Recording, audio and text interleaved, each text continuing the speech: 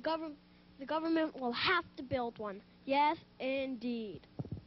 There's no place to go. W S M O G signing off. What must we do to rid the world?